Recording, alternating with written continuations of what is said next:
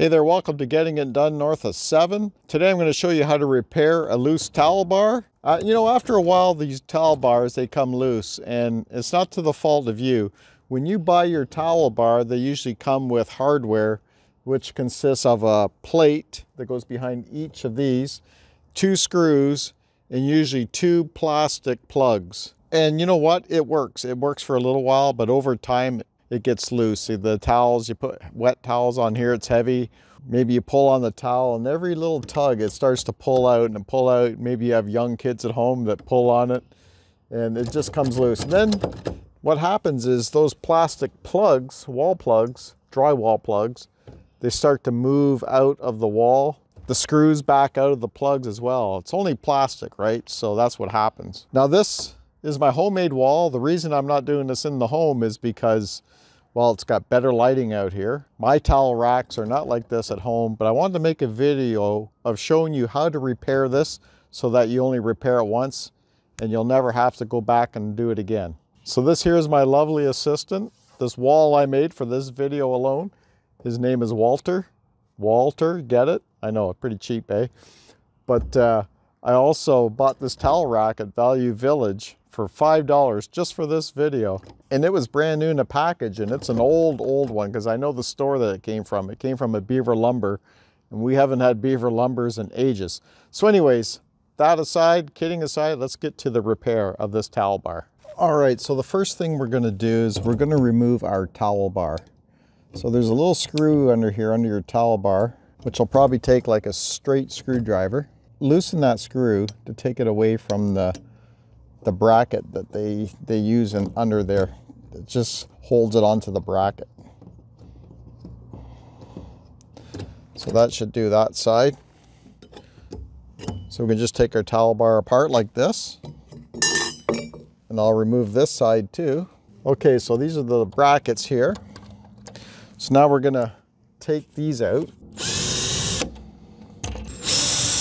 So here's the plastic plugs I'm talking about. So we're just gonna grab a pair of side cutters, cut them off like that.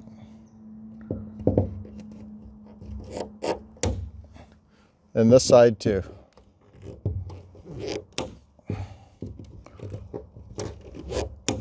Then you just grab a screwdriver, poke the existing plug that's in there out.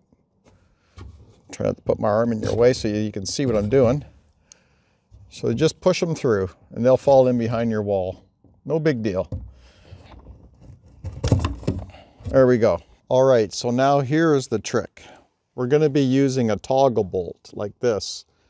And what's gonna happen is we're gonna put the bolt in here like this into this spring-loaded toggle. And, and then you're gonna squeeze this through and we're gonna put this in through the holes. And when it gets on the other side, I'll show you after, it's gonna spring load open like that.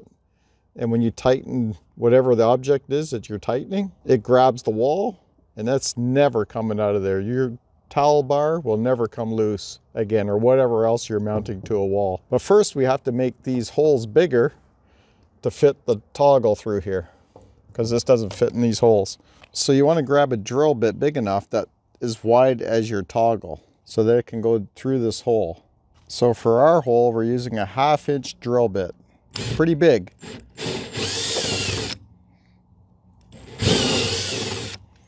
And we'll do the two on this side as well.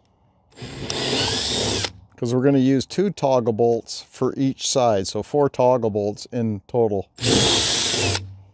Okay, now we're going to grab our brackets. And we're going to run the bolt through each one.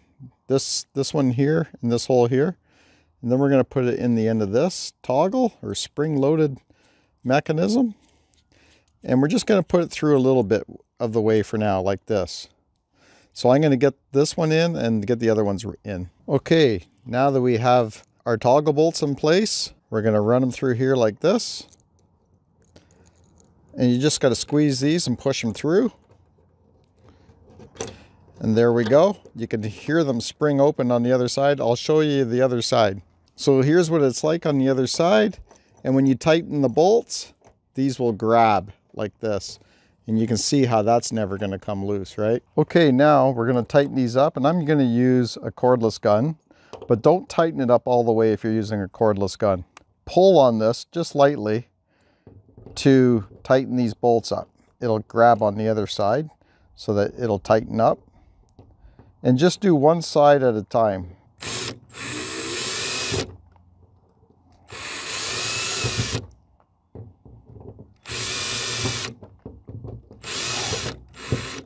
Again, don't go super, super tight.